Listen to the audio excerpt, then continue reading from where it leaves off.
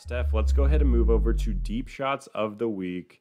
No, we're not going to have any 0.1% rostered guys this week like we did with Olamide Zaccheaus last week. But I, I've seen the seen the doc we got going, and there's some pretty good names on this list. So I'll go ahead and start it off with my first deep shot. It's a running back. It's Devonta Freeman, and this was a hot waiver wire pickup a couple weeks ago. And the consensus was you have to wait for him to get ramped up in this offense. You can't start him right away. So maybe someone tried to start him and got disappointed, cut him again. Um, and he could be a very good plug and play option this week against the Dallas Cowboys. I mean, Devonta Freeman last week snuck into RB2 um, range with his performance as the RB24 on the week, was getting some passing work in that game when they were trying to come back on the LA Rams. Last week, 11 carries on the ground, four receptions through the air. So, pretty good usage for Devonta Freeman going up against this Dallas Cowboys team that can't stop anybody. If he can get 15 touches in this game, I think he could have a very nice performance.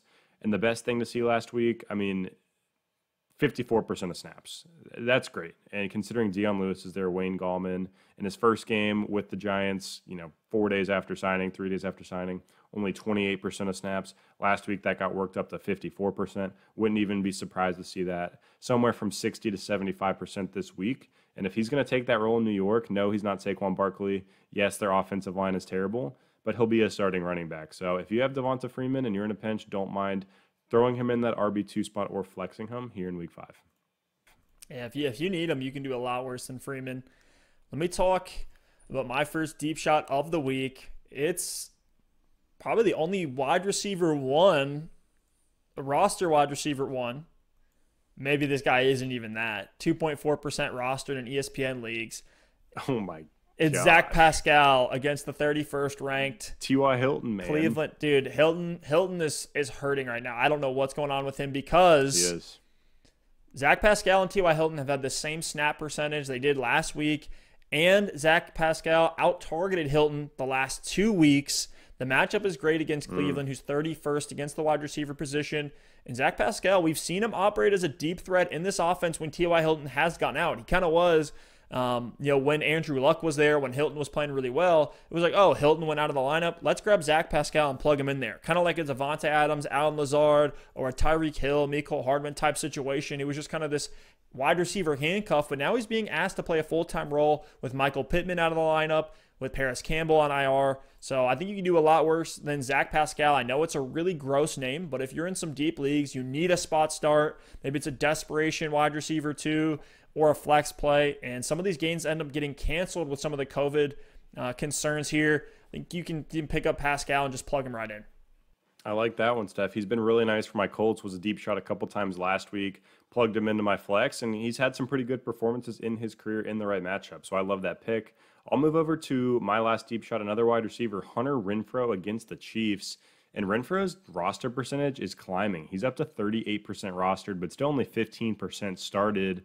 So, I mean, Renfrow is still available in a lot of places. And in PPR leagues, I think he should at least be on your team, and he's in flex consideration.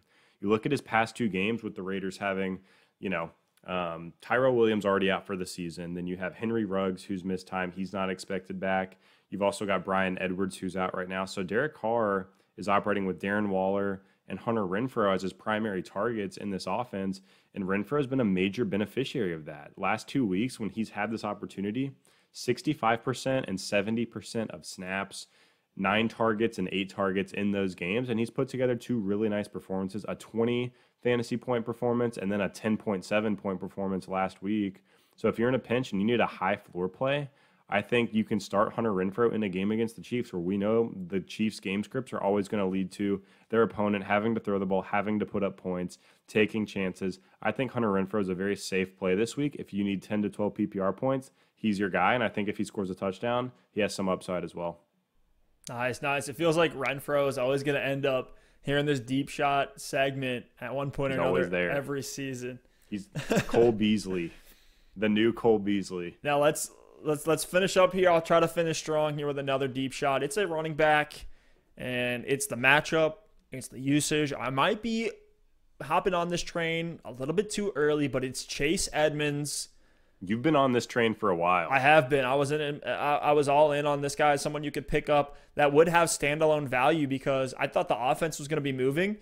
the offense is moving, uh, but that's not why Chase Edmonds has actually become a deep flex option or a deep shot that you can plug in this week. It's because that he's seeing all the receiving work and Kenyon Drake is not. And Kevin Kenyon Drake, for whatever reason, we've talked about it seems like every single episode now, he continues to be a guy who's underperforming. And sooner than later, I mean, the Arizona Cardinals only have Kenyon Drake on a transition tag. They don't really have much loyalty to him. I could easily see them trying to get Chase Edmonds worked up and see if they can keep a guy who's on another low cost contract is a guy that they can roll with next season. And Chase Edmonds is coming off a 15 fantasy point game in PPR leagues where he only played on 30% of snaps last week.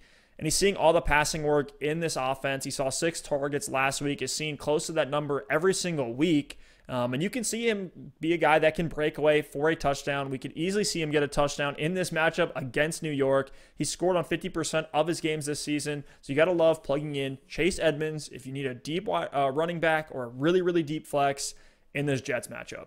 Stef, I gave you so much crap for that when you said he had standalone value, barring an injury to Kenyon Drake before the season. And so far, I've kind of been eating my words on that one. He's been a good – backup, someone you know who's had a couple of solid performances where if you did flex him, he actually returned value. And Chase Edmonds, I'm looking right now. I mean, you still haven't wanted to start this guy. Like, let's be real. Yeah. But if you've had to, he's had a couple good weeks, which is exactly what you said. Now he does have the great matchup. Edmonds is RB 36 right now in full PPR formats. Can you tell me who RB 35 is? I cannot. I cannot. It it's Kenyon Drake. so these guys are separated by 0.2 points on the season. Wow. And Kenyon Drake has played significantly more snaps and gotten significantly more carries. If you would have told me these two guys were back to back through four weeks, I would have thought you were absolutely crazy. So let's see how this situation evolves. Maybe you're right, and Edmonds is going to start to take over a role in that backfield. Um, but I definitely like the pick this week in a great matchup. He's certainly their scat back, if nothing else.